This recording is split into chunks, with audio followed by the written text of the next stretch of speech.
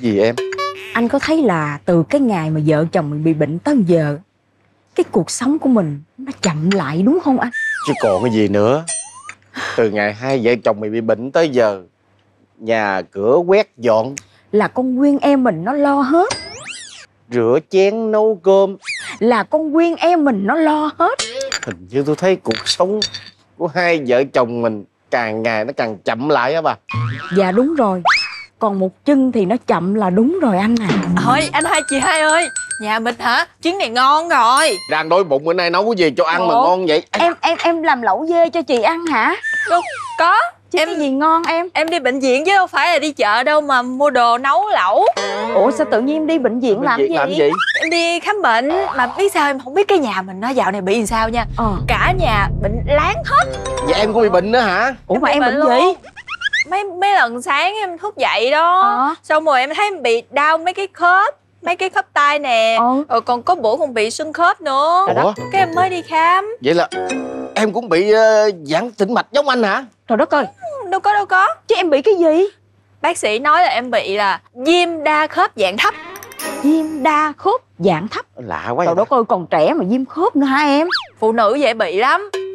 Trời ơi. Viêm đa khớp dạng thấp. Dạng thấp thôi Nó chỉ dạng thấp. Vậy có có viêm đa khớp dạng cao không? Là ông mới cao đó. Là cái suy nghĩ ông nó cao quá. Mệt anh hai quá Cái bệnh này nghe lạ lắm Phùng Ờ. Quá lạ luôn. Đúng rồi em. Sao em em tự nhiên cái em bị bệnh vậy vậy? Thì thì nè Bây giờ em hỏi bác sĩ rồi. Cái bệnh đó đó nó là như vậy nè. Những mâu thuẫn, những rắc rối cần tìm ra lời giải đáp. Hãy để các chuyên gia gỡ rối. Xin chào quý khán giả đã đến với chương trình Vitamin Hạnh Phúc. Viêm đa khớp dạng thấp.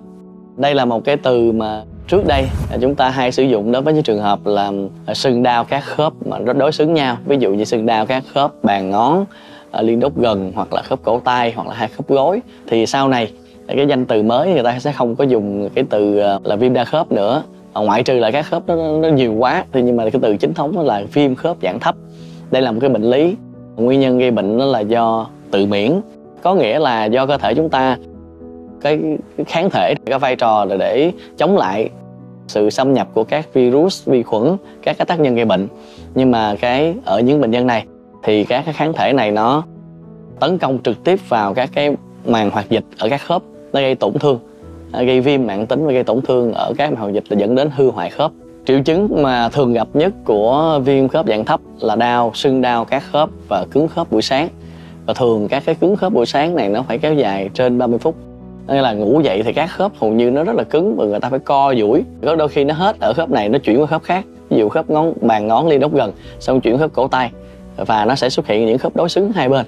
Nó cũng sẽ giống với các cái viêm khớp khác. Ví dụ những người lớn tuổi chúng ta thấy những khớp bị lão hóa bị thoái hóa thì thỉnh thoảng có những cái đợt các khớp nó cũng sưng lên.